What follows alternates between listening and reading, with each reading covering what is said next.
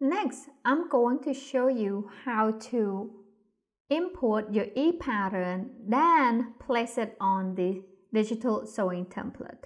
First, I'm going to create a new layer. To create the new layer, press down Option All on your keyboard, then come down here to this new layer icon, click on it.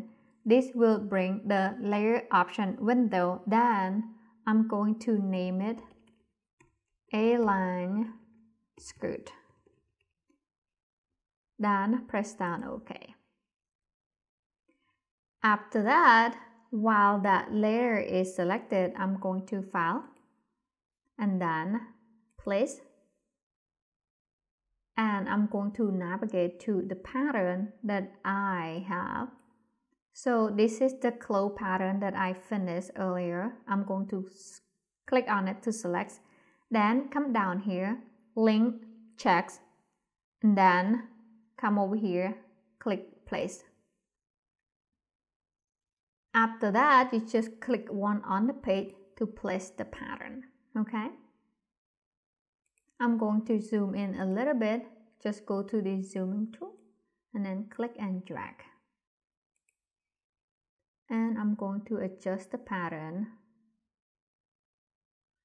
Okay, next I'm going to change the view to show transparency grid so I have more visual on the pattern and on the pages itself.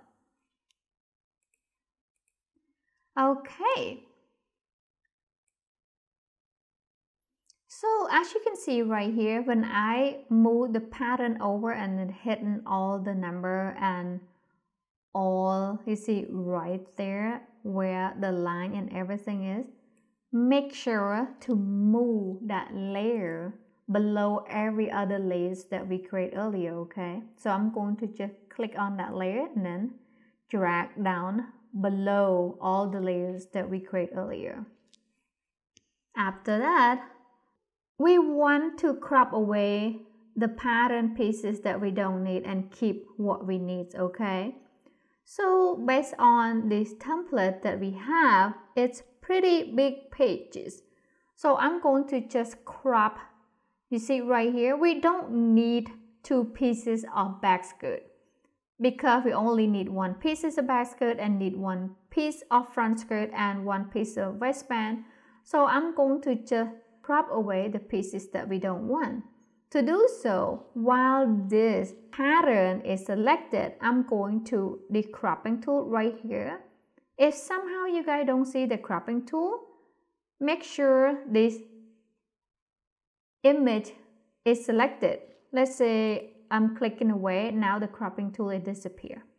So go to the black arrow tool, click on it and then come back, click on the image. You will see this cropping tool image appear. If you don't see it up here, you just go to objects and then come down here, you will see this crop image. You click on it.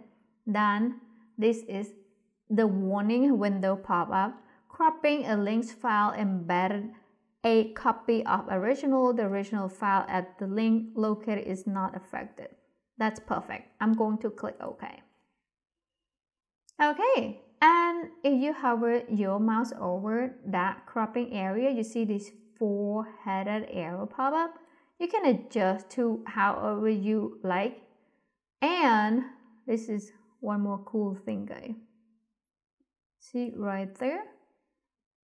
If I hover the mouse over here, I get to adjust the cropping area however I like. Just click and then drag to the right to expand, drag to the left to contract, and I'm going to just.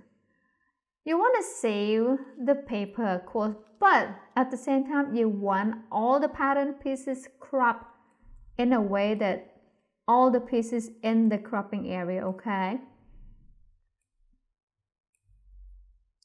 And I'm going to press return or enter on your keyboard to confirm. And adjust to however you like.